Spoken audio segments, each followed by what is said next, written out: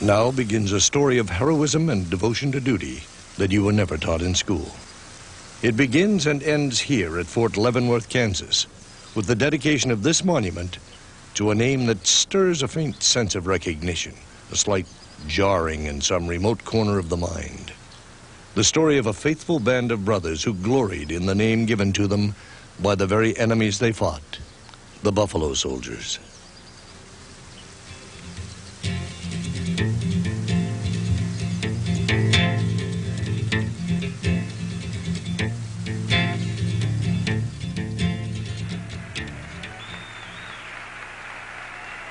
Thousands from across the country make the pilgrimage to Kansas to hear an address by the man whose dream sparked this dedication more than 10 years ago. General Colin Powell, Chairman of the Joint Chiefs of Staff. America's highest ranking officer, here to honor a group of men that no one knows. Nameless, faceless ghosts from the mists of frontier history. Until now. During the Civil War, they were called the U.S. Colored Troops. Nearly 180,000 fought for the Union. 33,000 died. Thousands more fought for the South. But now the war was over. Many drifted west to become farmers, cowboys, settlers. In 1866, the new Standing Army announced some startling additions. Two regiments of cavalry, two of infantry, all black troops with white officers. For most of those guys, it was a dream come true. No more cotton fields, no more factories. Thirteen hard cash dollars every month. Regular meals, a uniform. A chance to be somebody. Pushed into a dark corner of our past, exactly 100 years went by before their story was told. In 1967, Dr. William Leckie wrote the first and still the definitive history of the 9th and 10th Cavalry, the Buffalo Soldiers. One thing that I, I, I don't believe many people realized, that we only had 10 regiments of cavalry. Two of those regiments were black. That's 20%. That's one cavalry in five is black. They spent from 1867 to 1891 in efforts to bring peace and order on a frontier that stretched from the Canadian border to the Mexican border, from the Rocky Mountains to the Prairie Plain. And they were the principal line of defense in a huge, huge, huge area. The tragedy is they never got any credit for it. As the glamour outfits, the cavalry took the forefront. Two of the Army's best officers were assigned to command. Colonel Edward Hatch, the 9th Cavalry, and Colonel Benjamin Grierson took the job of organizing the 10th Regiment. The problems were many. Untrained, mostly illiterate ex-slaves, and no officers to train them. Assignment to a black unit was not perceived as a career-enhancing move. The troopers knew it too. Here's an ad in the Army Navy Journal. A first lieutenant of infantry stationed at a very desirable post desires a transfer with an officer of the same grade on equal terms if in a white regiment. But if in a colored regiment, a reasonable bonus would be expected. Even General Custer said no thanks. I don't want to serve with no brunettes. That's what he called us, brunettes. We've been called worse. But the Great Plains were under siege. Comanches, Kiowa, Cheyenne, Sioux, and Arapaho warriors struck all across Kansas and Indian Territory. In the summer of 1867, Colonel Grierson and his raw recruits of the 10th Cavalry rode into battle. Their job? To protect workers building the Kansas Pacific Railroad.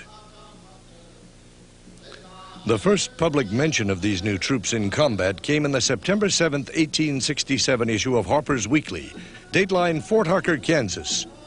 Quote, a few months since, you could not have convinced a ranchman that there was any fight in the colored troops. It is different now. I've not met a single frontiersman who has seen the dusky patriots go for the Indians, but be loud in their praise. Why, quoth one of them the other day, plague my cats if they don't like it. After this first successful fight, the sergeant in charge turned in this report. Me and the boys, we done all bully except Corporal Johnson. He flinked. And the way he flinked was to stay back till we had run the engines about two miles. Then he come hollering, get at 'em, get at 'em. Now, me and the boys don't think nobody that flink like that ought to have no corporal stripes. The tradition of pride in the regiment and themselves had taken root. The troopers also took great pride in their new nickname. For its origin, we return to Dr. Leckie. The Cheyennes saw a resemblance between the hair of that black trooper and the buffalo. It was meant as a compliment. That black trooper understood it. He not only liked it, he was proud of it. I interviewed some old Kiowa and Comanche Indians uh, at Anadarko, Oklahoma. And I asked several of them about the origin of the term buffalo, so they confirmed what I just told you. And said, but boy, they were fighters. In later years, the cavalrymen adopted the animal as part of their regimental insignia. They were officially buffalo soldiers. The area on which this magnificent monument stands was not a random choice. Much deeper significance was involved in the final selection. This is sculptor Eddie Dixon. The original site was parade ground. I spoke with an elderly woman that lived in the Fort Leavenworth area that she was a reservoir of history. The area that she thought the soldiers should be placed was in an area near the river. In the earlier part of the history of Fort Leavenworth, this area was very swamp-like. It was a bog area. And the black soldiers weren't allowed to live up on the higher grounds uh, or in the barracks in which they built for the white soldiers. And she stated that many soldiers died down there, many soldiers became very ill.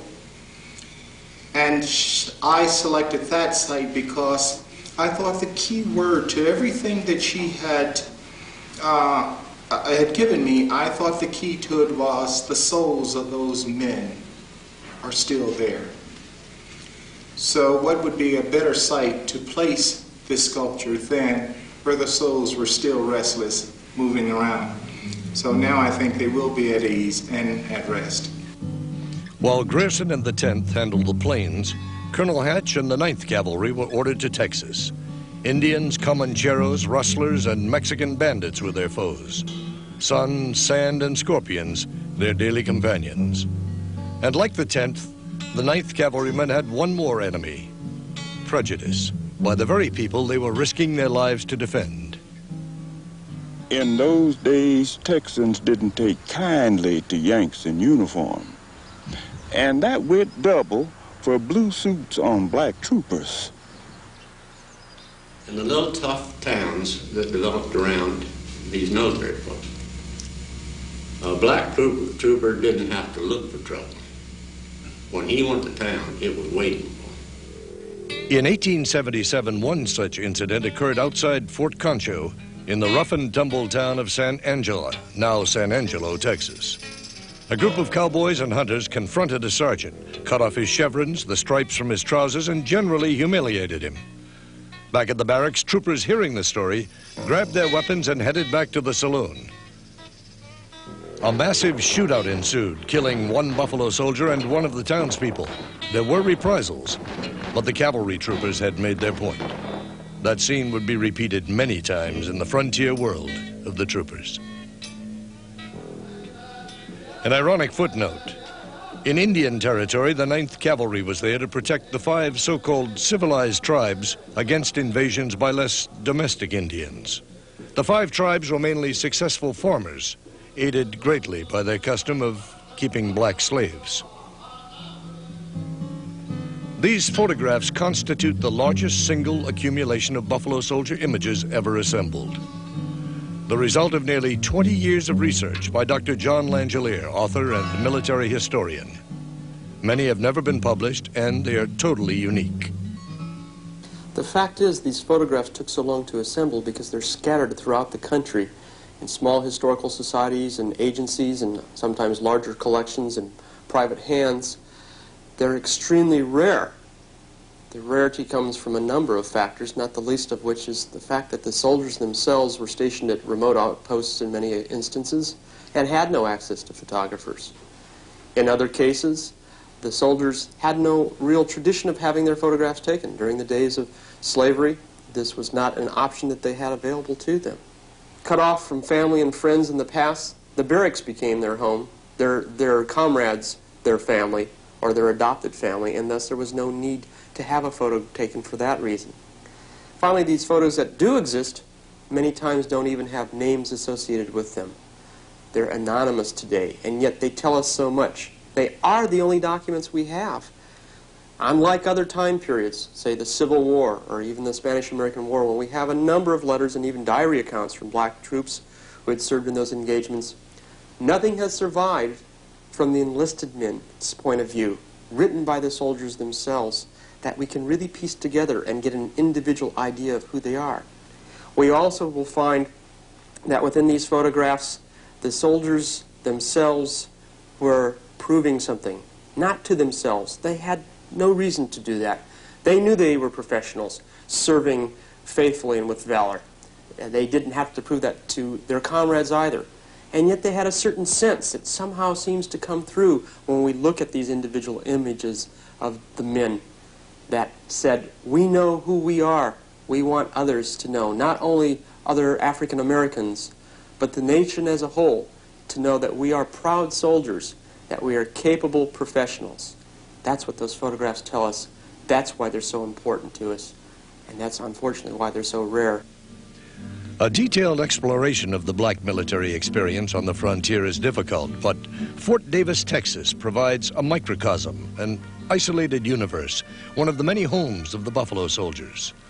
At varying times, both regiments of cavalry and the infantry operated from Fort Davis.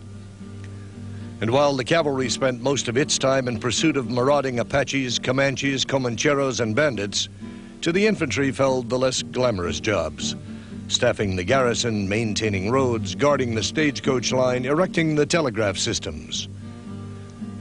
More than a hundred years later, mute evidence of their passing remains. The ruts of the Butterfield stage still mark the desert landscape. Stumps of telegraph poles placed by the black troopers jut from the sand. And at this important waterhole, the Tinaja de las Palmas, a battle which helped end the Apache wars in Texas took place. Digging into the sand above these rock tanks sometimes produced enough water to stay alive. Convinced that Victorio and his warriors would cross the Rio Grande for yet another murderous raid, Colonel Grierson set a trap. His troopers spread dangerously thin by constant patrols. Grierson stationed guards at every waterhole 30 to 50 miles apart. Here in the shadow of the Eagle Mountains, Grierson, his teenage son, and nine men of the 10th Cavalry waited and watched. Victorio, with nearly 100 warriors now desperate for water, entered the valley. Alarmed by the numbers, Grierson sent for reinforcements, and the battle was joined. The stone barricades erected by the troopers still stand exactly as they were in 1882. Fred Moore, a local rancher and historian, discovered the battle site some years ago.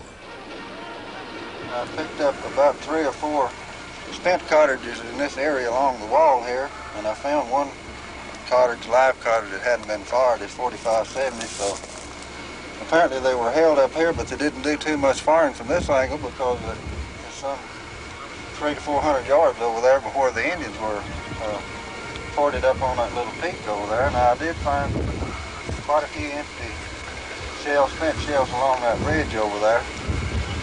And I presume they were from the Indians. Uh, good because uh, according to Grierson's report was when the Indians spied Grierson and his troops up here on the hill while they turned south to try to miss the troops and go south of the state line and that's when the, troopers took after them over there and the Indians forted up on that ridge over there so that accounts for the spent shells over there I'm sure.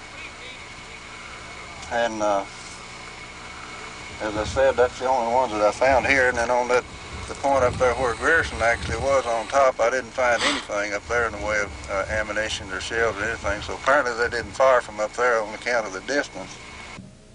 After several hours, Victorio retreated north to Rattlesnake Springs, where another buffalo contingent lay in wait. The Apaches were forced back into Mexico, where the war chief was killed in a battle with the Federales. The Apache threat to southwest Texas was over. The United States Military Academy, West Point, New York. The grim expressions on the faces of these cadets are the kind that greeted new cadet Henry O. Flipper when he arrived. Flipper, the first black American ever to graduate from the U.S. Military Academy at West Point, was a symbol to the entire black population. He was from Atlanta, and his folks was ex-slaves. When Flipper graduated from West Point in 1877, he was our Jackie Robinson, Joe Louis, and Ralph Bunche all rolled into one. He took the silent treatment at school for four years and made it. He proved that we could do it, but we was just like everybody else. It lasted five years. At Fort Davis, Flipper was accused of embezzling regimental funds. Contemporary reports suggest that his biggest crime was going riding with a white lady from the nearby town. Unlike accused white officers who are always confined to their quarters, Flipper was locked up in this guardhouse. The court-martial took place here in the Post Chapel.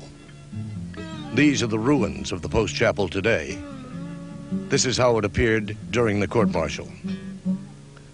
The verdict was guilty of conduct unbecoming an officer, and Flipper was given a dishonorable discharge, an excessive sentence which for white officers usually brought a brief suspension and loss of pay. Flipper would devote the rest of his life in attempting to overturn the court. Then, just a few years later, another man made it to West Point. John Hanks Alexander of Arkansas, whose parents had also been slaves, graduated in the class of 1887.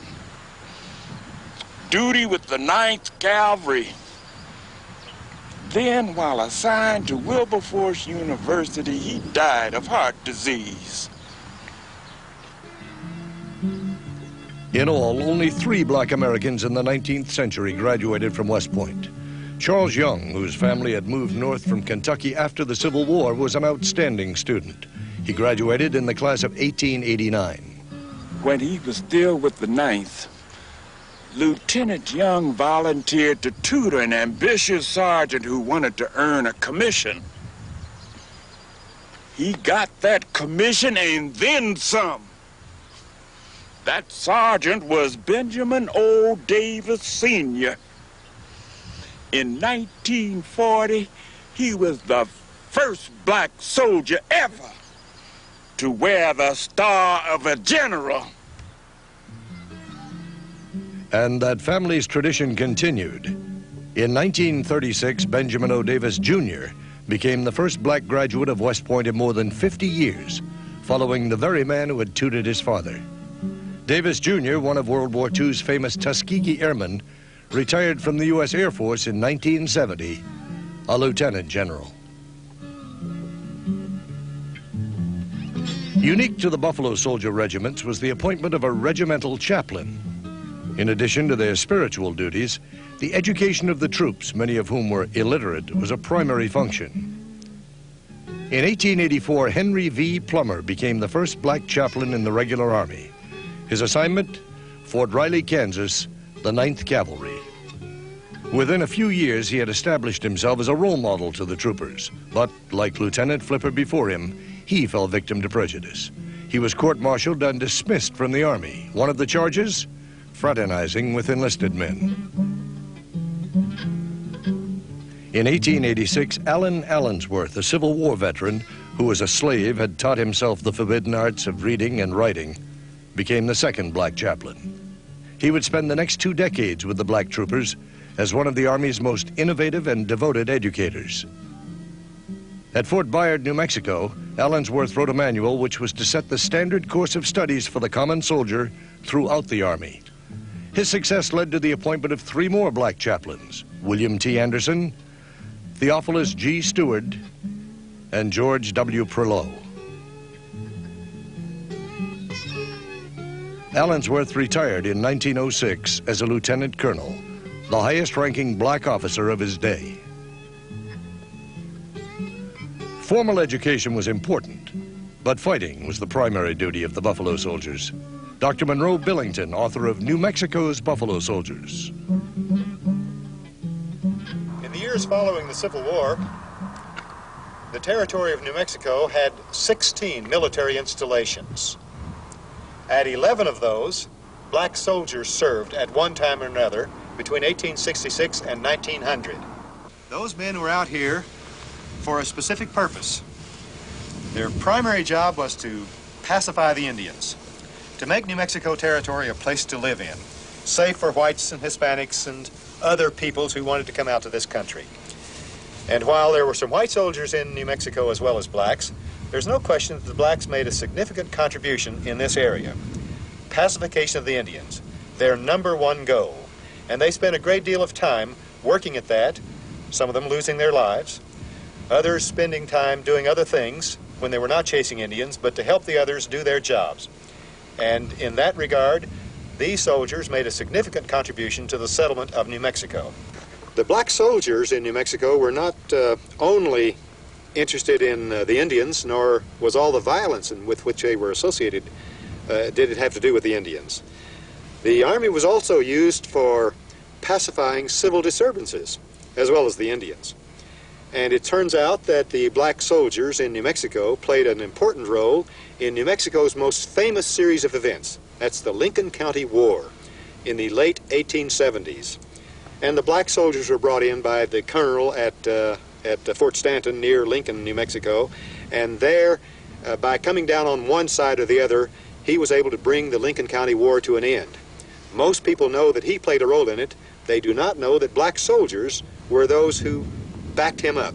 And so the black soldiers played a role in pacifying New Mexico for uh, in purposes of the white population as well.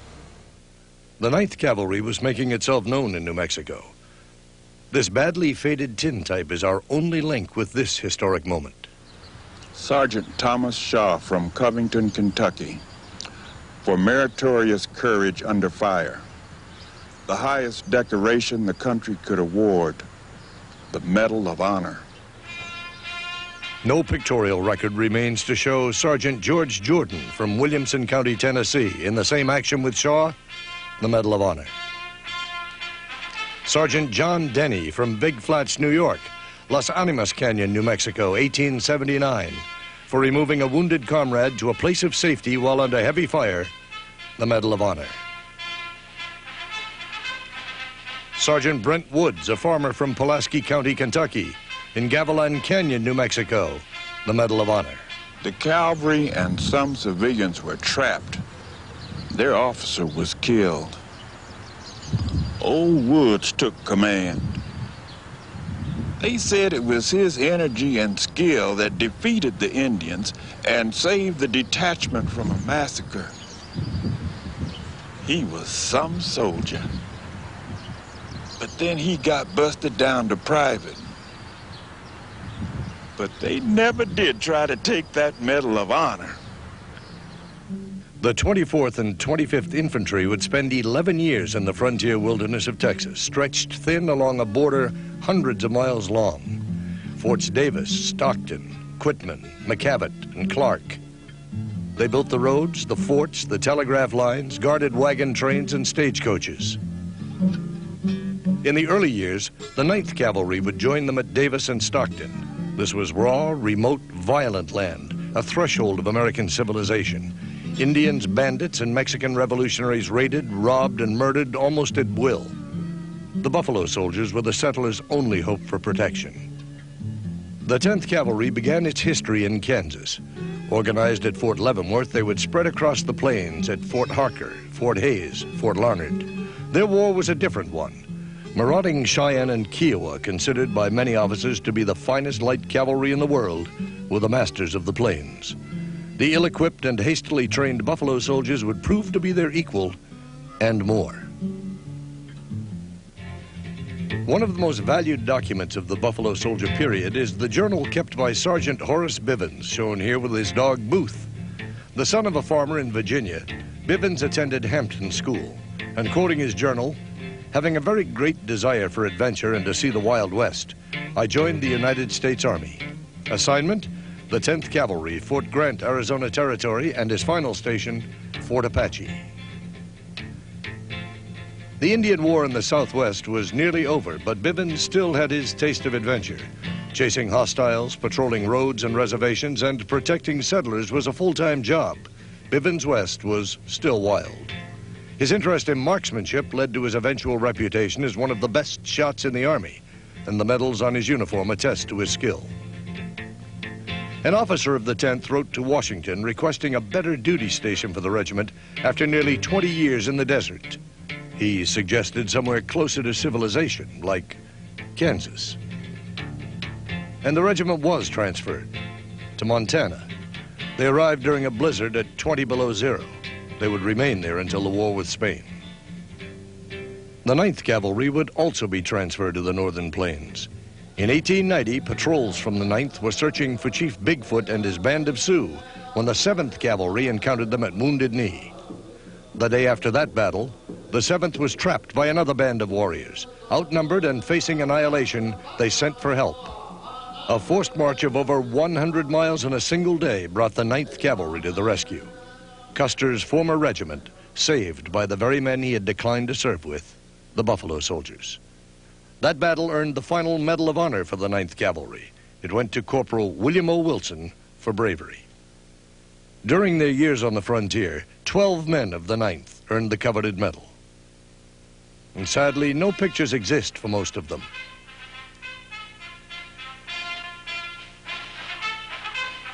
Sergeant Emanuel Stance, Corporal Clinton Greaves, Sergeant Thomas Boyne, Sergeant John Denny, Sergeant George Jordan, Sergeant Henry Johnson, Sergeant Thomas Shaw, First Sergeant Moses Williams, Sergeant Brent Woods, Sergeant William McBryar, Corporal William O. Wilson, Private Augustus Walley, the last man on this list, Augustus Walley, was one of the first Buffalo soldiers. He retired after 30 years of combat service. At the start of World War I, when the romance of the frontier had faded, this Indian fighter and winner of the Medal of Honor was recalled into the Army and promoted to first sergeant of a sanitation battalion in Louisiana. In 1889, two members of the 24th Infantry would join the Medal of Honor list. While escorting the paymaster in eastern Arizona, Sergeant Benjamin Brown and Corporal Isaiah May, wounded and outnumbered by bandits, responded in the highest traditions of the service, the Medal of Honor. The battleship Maine anchored in the harbor at Havana, Cuba to protect American interests during Cuba's rebellion against Spanish rule. On February 15, 1898, a massive explosion rocked the ship and it went to the bottom with 266 members of its crew. Hastily blaming the incident on Spain, America declares war. For the first time, all four black regular Army units will be together. The troops are transported to Chickamauga Park, Georgia, then to Tampa, Florida for embarkation. Having spent all their years on the frontier, the Jim Crow laws they encountered in the South came as a terrible shock. Sergeant Horace Bivens, 10th Cavalry, quoting again from his journal. We left Fort Assiniboine, Montana by train. We received great ovations all along the line. As we neared the south, the great demonstrations became less fervent. Some station waiting rooms read, white waiting room only. It was a revelation to us. Lieutenant John J. Pershing, 10th Cavalry, was witness to the ugly incidents, the beatings, shootings, and near riots, the Wilderness Warriors' reintroduction to civilized society. Jim Crow took full force in 1890 was so bad that uh, I would say black people suffered more during the 90s and in the first uh, 10 or 15 years of the 20th century than at least they had suffered um, after the Civil War or just prior to the Civil War. It was a bad time. The National Association for the Advancement of Colored People was founded in 1910. That's not a coincidence. Their training was brief and available transport was in short supply. The horses must be left behind. The cavalry would fight on foot in Cuba. The ports of Siboney and Daiquiri are chosen for troop landings. Their target, the city of Santiago. This film was taken by Thomas Edison's company as they landed.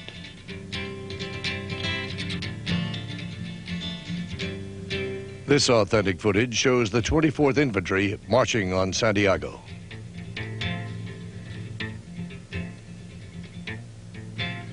It was called the Splendid Little War, perhaps only by Theodore Roosevelt and his first volunteer cavalry, his Rough Riders.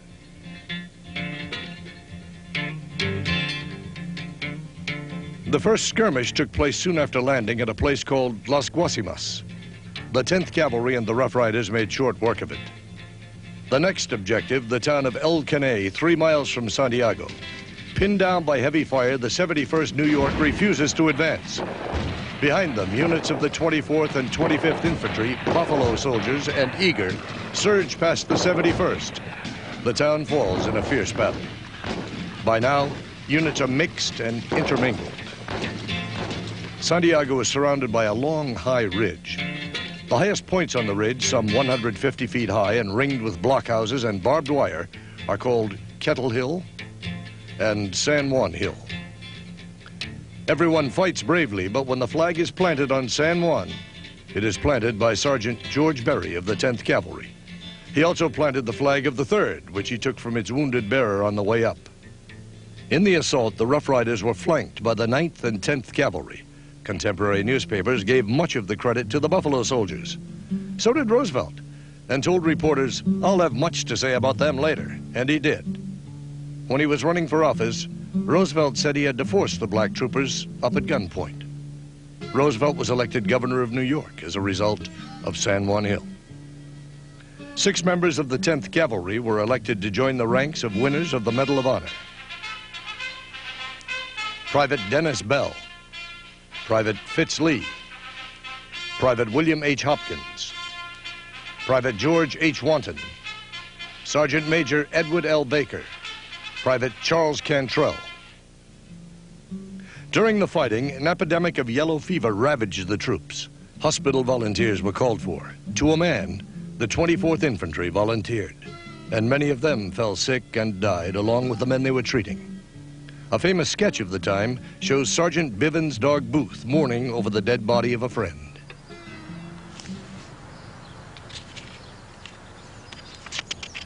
Got this note from a buddy of mine, old Carter, long time ago. Been carrying it in my pocket ever since. Let me read it to you. First Sergeant Carter Smith, 10th Cavalry. I noticed that both white and colored soldiers had a brotherly affection for each other while on the way to Cuba. In Cuba, and on the way back to the United States. They got along nicely together. During the whole campaign, I never heard a crossword passed between them. Why can't it be so at home? Maybe tomorrow. The 19th century was at a close, as were the wars on the western frontier. And so, too, was the 30-year legend of the Buffalo Soldier. In Indian Territory, soon to become the state of Oklahoma, they protected the resident tribes. They also built Fort Sill.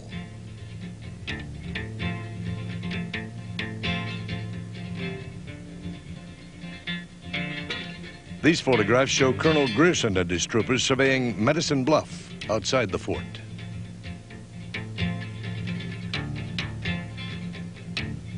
They drove out the boomers, bands of settlers who for years tried to illegally invade the territory. In the desert heat of the Southwest, they fought their way along the trails that are now major highways and made those states safe for settlement. In later years, as the fighting gradually subsided, there was time for recreation. Hunting was useful both as a sport and as a way to improve the regimental diet. Intercompany sports, such as this tug of war, were popular. And since Abner Doubleday was briefly commanding officer of the 10th Cavalry, perhaps that explains the troop interest in the sport of baseball. Football was also gaining great acceptance. And although not strictly a sport, as shown here in 1896 at Yellowstone Park, the troopers experimented with bicycles as a possible means of troop transport. In civilian life, Colonel Grierson was once a music teacher. Searching out the raw talent in his 10th Cavalry, Grierson arranged to buy instruments, taught the men, formed a regimental band. Both the officers and men contributed to the funding of the band. Not only a morale booster for the men, concert appearances and holiday parades in towns outside the forts helped the troops gain popularity with the civilians.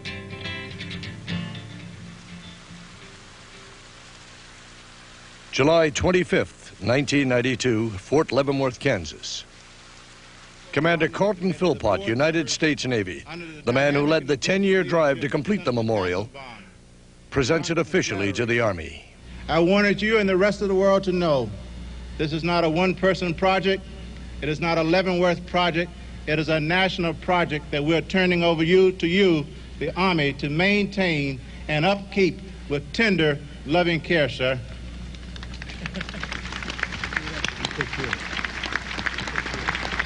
As you look at the sculpture and as you look at the piece, please see within that the things that we were trying to symbolize here. I would like it to be a new beginning for the generations coming up.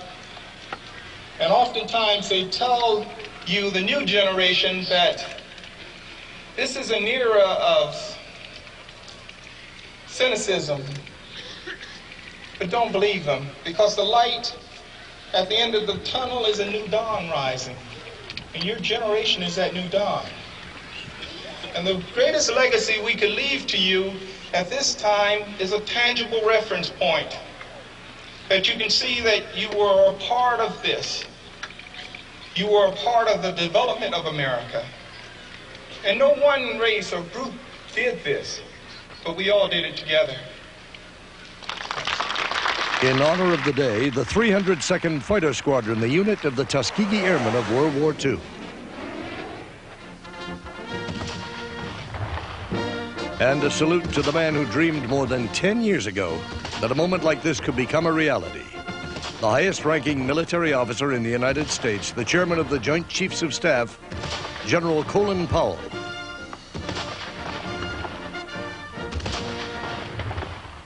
The general reads from Grierson's farewell letter to his troops. The officers and enlisted men have cheerfully endured many hardships and privations, and in the midst of great dangers, steadfastly maintained a most gallant and zealous devotion to duty. And they may well be proud of the record made and rest assured that the hard work undergone in the accomplishment of such important and valuable service to their country cannot fail sooner or later to meet with due recognition and reward. Benjamin H. Grierson, Colonel, 10th United States Cavalry.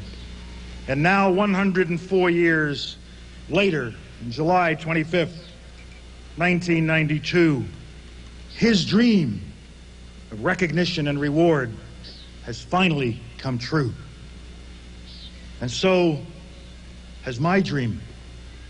Beginning with the Buffalo Soldiers in 1866, African Americans would henceforth always be in uniform, challenging the conscience of a nation, posing the question of how could they be allowed to defend the cause of freedom, to defend the nation, if they themselves were to be denied the benefits of being Americans. The great liberator Frederick Douglass made the same point. Douglass said, once let the black man get upon his person the brass letters U.S. Let him get an eagle on his button and a musket on his shoulder and bullets in his pocket, and there is no power on earth which can deny that he has earned the right to citizenship in the United States of America. So look at this statue. Look at him. Imagine him in his coat of blue, on his horse, a soldier of the nation, eagles on his buttons, crossed sabers on his canteen, a rifle in his hand, a pistol on his hip, courageous, iron willed. He was every bit the soldier that his white brother was. He showed that the theory of inequality must be wrong. He could not be denied his right. It might take time. It did take time. But he knew that in the end, he could not be denied. The Buffalo Soldiers were not the only ones in this struggle. The 24th and the 25th Infantry Regiments, the 92nd and 93rd Infantry Divisions, the high flying Tuskegee Airmen, the parachuting Triple Nickels, our Navy's Golden 13, the Montford Point Marines, and thousands of other brave black Americans have gone in harm's way for their country since the days of the Buffalo Soldier, always moving forward and upward, step by step, sacrifice by sacrifice. But we are not here today to criticize an America of 150 years ago, but to rejoice, to rejoice that we live in a country that has permitted a spiritual descendant of the Buffalo Soldier to stand before you today as the first African American chairman of the Joint Chiefs of Staff.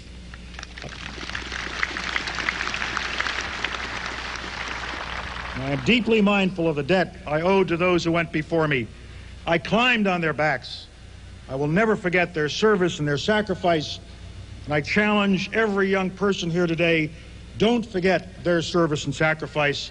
Don't forget our service and sacrifice and climb on our backs to be eagles.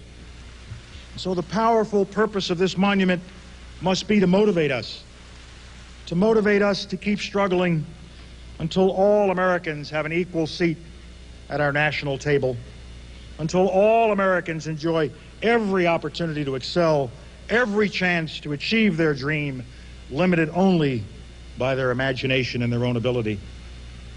We will leave this beautiful monument site today knowing that caring Americans made a modest dream come true. But let us also leave, my friends, determined that the most important dream in the world, the American dream of progress and full equality, has gained today with this monument a new vision, a new strength, and a new tomorrow.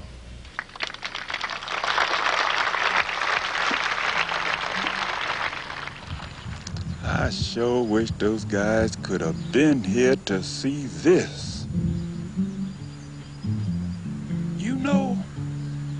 Maybe they was.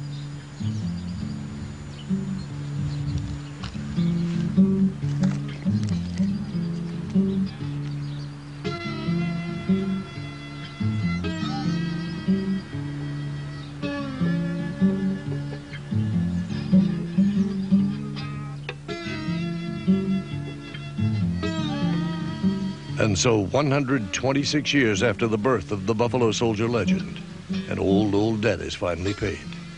A magnificent but simple memorial to a band of warriors who kept the faith and whose contribution helped us to inherit a country.